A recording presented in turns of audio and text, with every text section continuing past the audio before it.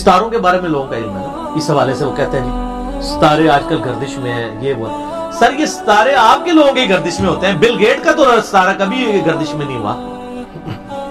वो तो ऊपर का ऊपर ही जा रहा है। जी कारोबार में बंदिश कर दी। सर दुनिया के सारे बुज़ुर्ग सारे ताबीजात वाले के की बंदिश करवा के बताए ना। जिसके आज से 10 साल पहले 66,000 आउटलेट्स थे पूरी दुनिया में। तो सारे बुज़ुर्ग समेत इमाम काबा का भी बैठ जाए वेटिकन सिटी का पॉ बैठ जाए।